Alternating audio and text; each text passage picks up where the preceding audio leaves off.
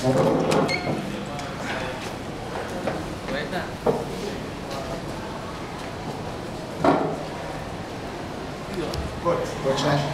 first of all, congratulations. How does it feel to be a 3 and 0? same, same feeling when I want to know. Kaya lang. Kasi at this, uh, at this point, you need to control your emotions. You uh, just, uh, just like we, uh, what we always remind them, uh, last year they were 4 and 0. So, so 3 and 0 is nothing compared to 4 and 0. Thank you, Coach. Coach, sluggish yung start niyo eh. Anong nangyari? Dahil ba maaga yung laro? or- sluggish. Ano I think we started well today. At least compared to the first two games. Kasi that's something that we were trying to address. Kasi dun sa first two games namin, yung dalawang kalaban namin, lumamang kaya. I think today, parang nauna yata kami. Yeah, I think. Sa second half, coach, But uh, the second half, yeah. medyo sluggish. Lumang kayo ng 29. Tapos, na- na-cut nila to 14. Ano nakita nyo? ano eh, ah, nga. Wala yung dalawa. Yeah. Uh, yeah, that- that's something that ano, we're trying to guard. Uh, guard against ano, complacency and uh, actually, actually all along, even after that uh, game against Ateneo, yun na kagad yung una namin sinabi sa dugout. Eh. They playing against UP, though UP kasi over the last few years has, has had uh, losing seasons. Eh. Pero sabi namin, uh, today is a, this year is a different UP team. Uh, especially down the road. If you see mga players na ginamit those are very talented players. I think those are the uh, top recruits this year.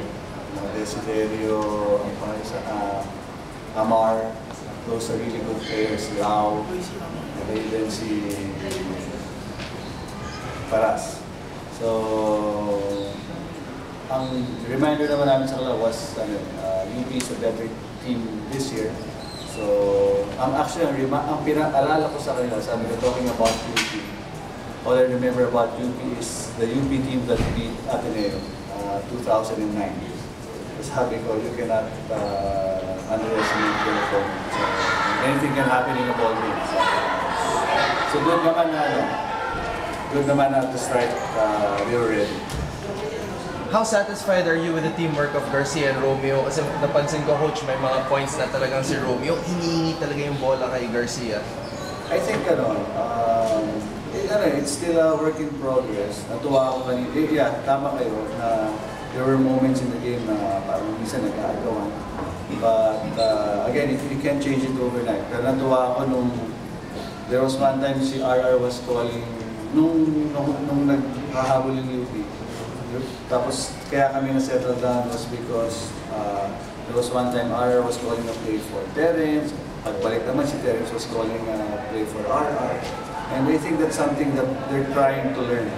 And I think, tingin ko, natututunan na nila talaga mag-laro sa kanila. I think that last three-pointer uh, by RR was the clincher, di ba? Yung matake yata si Terence and then right away sa likod niya, nag-three points si, si RR. Again, it's a work in progress. Uh, the only time that we were able to play together as a complete unit was a week before the UAE.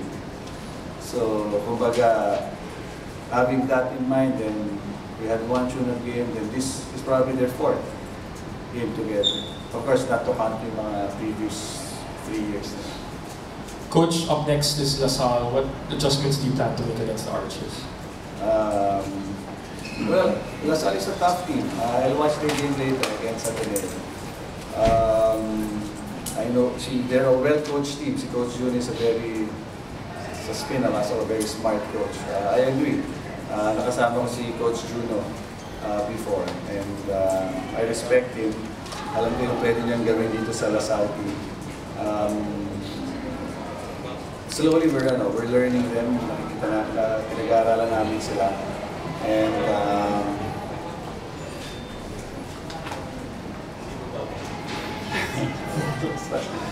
Sige, silipin ko pa. silipin ko siya. But we were ready. Alam ko na ang strength nila is their, their picks. So, I think with, with, with the way Christian has been playing defensively, yeah, I think ano, uh, malaking bagay siya against us. Yeah, Christian had ano to, six rebounds and five blocks. Uh, even see Jose, our other big guy, played uh, well. Yeah.